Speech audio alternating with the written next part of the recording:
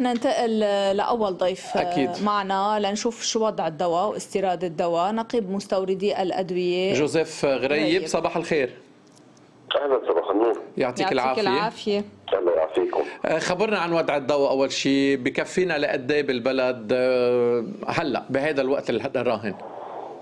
نحن سيدي الكريم إحنا سبق وصرحنا الو- الوضع الدواء والمخزون الاستراتيجي تبع الدواء. بشكل عام هو بحدود الخمسة اشهر نعم. وقت نحن عم نحكي عن موضوع استراتيجي عن عفوا عن مخزون استراتيجي. في عدة مكونات للمخزون الاستراتيجي نعم. المكون الأول هو المخزون الاحتياطي. يعني شو هو حجم المخزون الموجود؟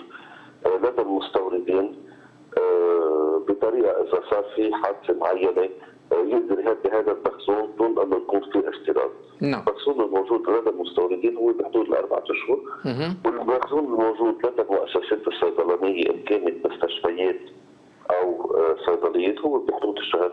عشان هيك عم نقول إنه المخزون العام هو آه، بحدود الخمس أشهر. نعم. آه، المكون الثاني هو قديش الدواء حساس. يعني الدواء ما له بديل.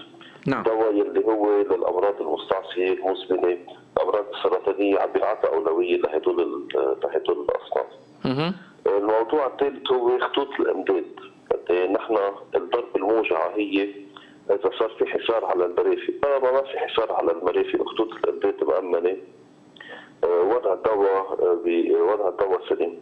بس كمان اطلعنا على الموضوع وت- وتواصلنا مع شركات لوجستية. ان كان بقبرص تنشوف شو معقول نعمل بحال ما صار في حصار. آه، وتم الاتفاق مع هدول الشركات إنه تتجمع البضائع لكل المستوردين اللي بدها تنشحن هيك بتنشحن بضربه واحدة. نعم. على ان على أن آه، يتأمن أذون خاصة وممرات آمنة عبر المنظمات الأممية. نعم. هذه، آه، اجمالا وقت بيكون في صراعات بتهتم فيها الحكومة على طريق المنظمات الأممية. يعني وضعنا نحن هلا فينا نقول عادي. الوضع هذا وكمان الشغله الملفته نعم. هي إنه آه، ما نلاحظ آه، تهافت على الأدوية. نعم. آه، يعني اجمالا بالازمه الاقتصادية ما بين 2019 وال 2021 آه، كان يصير في انقطاع لأنه عملية الشحن كانت تتوقف. نعم. آه، واللي نلاحظ بالاونه الاخيره هو عدم تهافت على الدواء.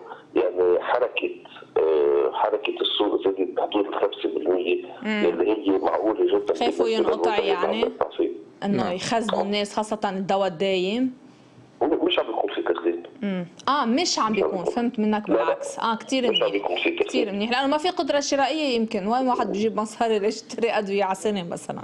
هذا يمكن عامل أساسي ب- ب- لا بس حتى حتى إذا الواحد عم يشتري أدوية على شهر أو شهرين أو على ثلاثة بيكون في حركة آه، حركة لافته يعني نحن بنقارن الشهر بالنسبة للشهر اللي قبله. طيب يعني أنواع ال... الحركة تبع هالشهر زادت هو- 5% عن الشهر اللي. قبله لزيت أوكي أوكي. بس أستاذ جوزيف أنواع ال- نوعية ال- الأدوية يعني صار في طلب على أنواع جديدة يتم استيرادها مثلا مرتبطة بعمليات. جراحية أو شيء ولا لا؟ بعدنا بنفس خلينا- الإطار. خلينا إذا بدك ن- نحدد نعم. أنواع الأدوية اللي عم نتكلم عنها.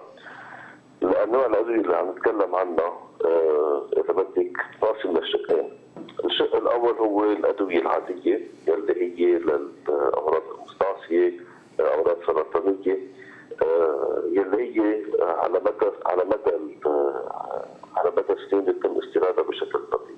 نعم. هو اللي عملناه كمان؟ هو انه حصينا المخزون آه، للأدوية التي تستعمل لمعالجة مصابي الحرب. آه، وهذا المخزون لدى المستوردين آه، هو أربعة أشهر حتى المخزون بتصرف وزارة الصحة. والمخزون أربعة أشهر للأدوية اللي تستعمل لمصابي الحرب أربعة أشهر بأخذ باعتبار الحركة العالية اللي عم اللي عم بتتم على هدول الأصناف بالآونة الأخيرة.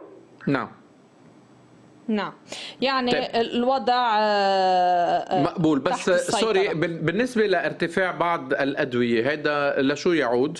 ارتفاع شو؟ ارتفاع الأسعار اسعار مش مش مش مفروض مش مفروض ولا أي شكل من الأشكال يكون في ارتفاع بالسعر سيدي لأنه صار الدواء محدد من يصير في تغسيل ما بيع الدواء في آه، فترة تانية بسعر أغلى هذا بيكون مخالف للقانون، يلعب خالف القانون يحيل إلى القضاء. أوكي مين مين يحيله؟ وزاره الصحة عبر التفتيش الصيدلي نعم. أم نائبة الصيدلي عبر عبر. الجهاز الرئوي اللي عنده هي آه، نائبة الصيادلة. نتيجة شكوى من مواطن أو نحن بدنا نشكرك جوزيف غريب نقيب مستوردي الأدوية شكرا لك أهلا وسهلا فيك